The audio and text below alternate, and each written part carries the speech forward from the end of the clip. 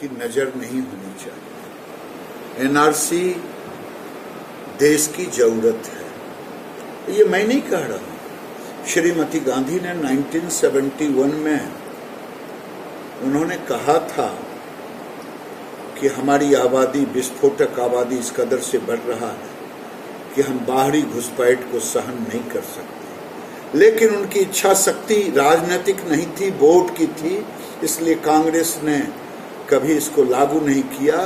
भारत के प्रधानमंत्री की इच्छा शक्ति राष्ट्र है। सबका साथ सबका विश्वास और सबका विकास। और इसीलिए हम एनआरसी लागू कर रहे हैं और जहाँ जहाँ घुसपैठी है वहाँ वहाँ ये होना चाहिए। बिहार की बिहार में ज़रूरत है क्या? गिरिराज बिहार के नेता रहे हैं बिहार को अपने करीब से देखा है। कई बीजेपी के नेता इसको लेकर आवाज़ उठा रहे हैं?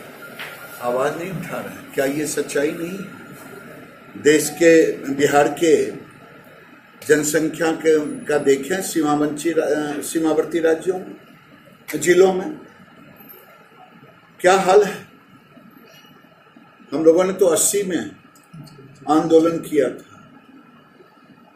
उस समय बेगूसराय में ज़ीरो माइल से लेकर के पूरे बंग, बंगाल के बॉर्डर तक।